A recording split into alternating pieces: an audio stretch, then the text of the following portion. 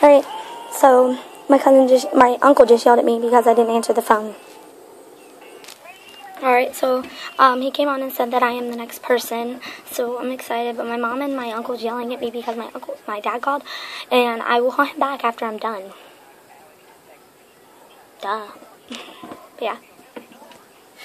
Alright, so I don't think I'm ever gonna be able to talk to these guys. Been on for like an hour. Heard there was a lot of calls, so I'm just gonna give him some time. I'm gonna. I can't tweet because it's don't have internet out here. So I can just wait. And I hope they hurry because my dad wants me to call him back, and I have to tell him that why I took so long, and I have to explain. So you're gonna get. It's gonna be. Yeah. Oh baby, oh baby.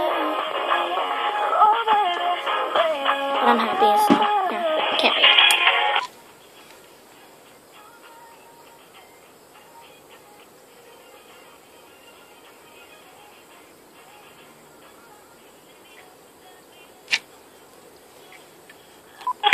Hello.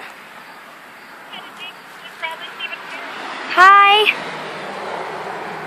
Oh, did you want to ask him a question? Yeah.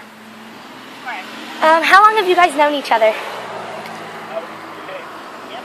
Yep. Wow. Not even. We we uh, we met each other briefly at a softball. We never really saw each other again because we did not enjoy each other. No. And you from then on. Started in the testing position. We got to know each other. If that answers your question, Uh, there you go. yeah, I think February was around the time we first actually spent a little bit of time together because we run the time together. Um, it was, granted, it was just not great time.